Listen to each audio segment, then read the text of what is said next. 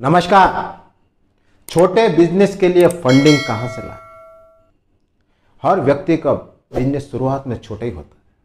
धीरे धीरे ग्रोथ करता है और एक दिन बहुत बड़ा बिज़नेस बन जाता है। लेकिन एट प्रेजेंट टाइम सबसे बड़ी प्रॉब्लम यही है कि बिज़नेस का आइडिया अच्छा है। आपके पास में बहुत ही वेरी गुड आइडिया है।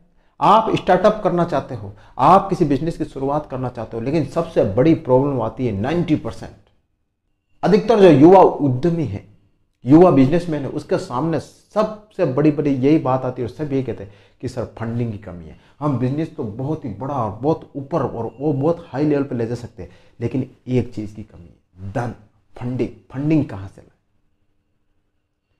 तो आपको फंडिंग कहाँ से लानी होगी? आज मैं आपको फाइव डिफरेंट टाइप्स ऑफ़ बताऊँगा कि यहाँ से आप फंडिंग कर सकते हो। और आप अपनी फंडिंग की प्रॉब्लम दूर कर सकते हो।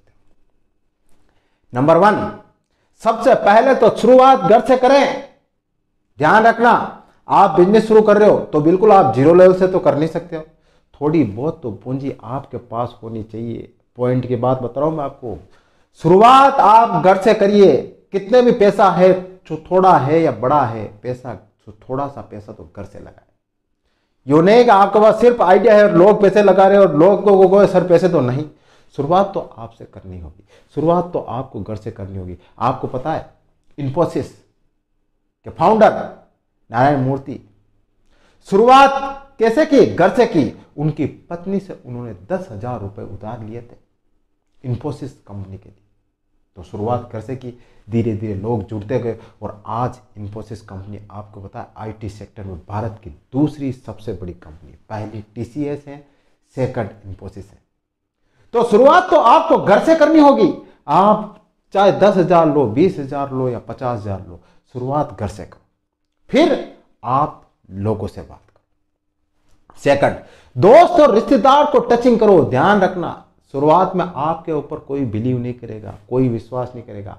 आप किसी अनजान व्यक्ति या आप किसी बड़े इन्वेस्टर के पास में जाओगे, आपके पास कितनी बड़ा और कितनी अच्छा आइडिया है। आप सब कुछ शो करोगे उनके सामने, लेकिन वो आपके ऊपर शुरुआत में बिलीव नहीं करेंगे। शुरुआत में आपके ऊपर विश्वास कौन करेंगे?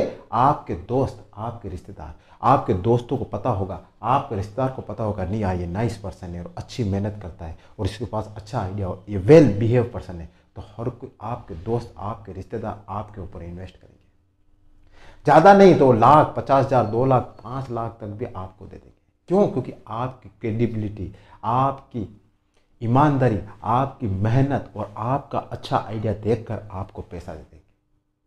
इसके लिए आपको मेहनती होना पड़ेगा और आपका आइडिया अच्छा होना होगा।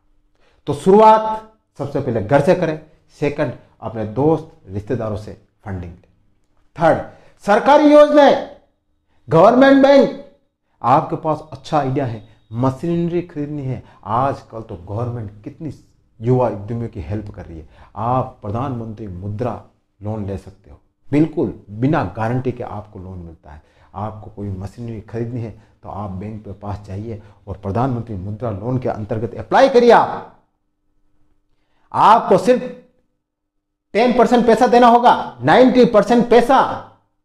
गवर्नमेंट बैंक देगी आपको कोई भी मशीनरी या आपको कोई भी चीज़ खरीदनी है अपने बिज़नेस के लिए तो आपको गवर्नमेंट बैंक आपको हेल्प करेगी और वो भी बहुत कम पैसे पर।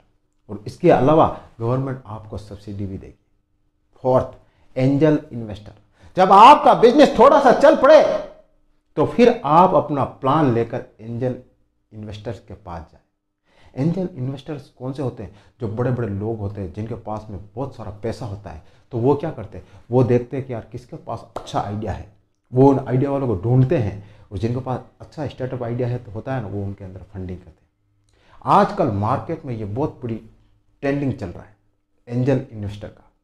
बहुत से लोगों के पास में अच्छा खासा पैसा है, वो इन्वेस्ट करना चाहते हैं, लेकिन वो कहाँ इन्वेस्ट करना चाहते हैं? अच्छी जगह पर गुड जगह पर। उनको पता है कि हमारा पैसा जहाँ भी जाएगा, जहाँ भी लगेगा अच्छा रिटर्न देके जाएगा। तभी वो लगाते हैं, बाकी हर कहीं, हर किसी जगह वो नहीं लगाते। वो कोई भी अच्छा स्टार्टअप आइडिया देखते हैं और देखते कि नहीं यार, ये अच्छा चल सकता भविष्य में अच्छा रिटर्न दे सकता है इन फ्यूचर में तो वहाँ वो पैसा लगाते हैं।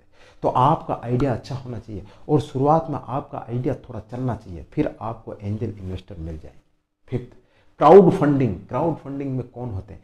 आप अपने आस पास जैसे अगर आपका बिज़नेस थोड़ा चले आपके एरिया में तो आप आसपास के लोगों से भी आप फंडिंग इकट्ठा कर सकते हो। आप उनके पास अपना आइडिया बताइए और आप अपने आस पास गली, मोहल्ले, आपके एरिए, आपका डिस्ट्रिक्ट में भी आप क्राउड फंडिंग यानी भीड़ से भी आप पैसा उठा सकते हो। बैंक क्या करता है? बैंक आम पब्लिक से पैसा उठाता है।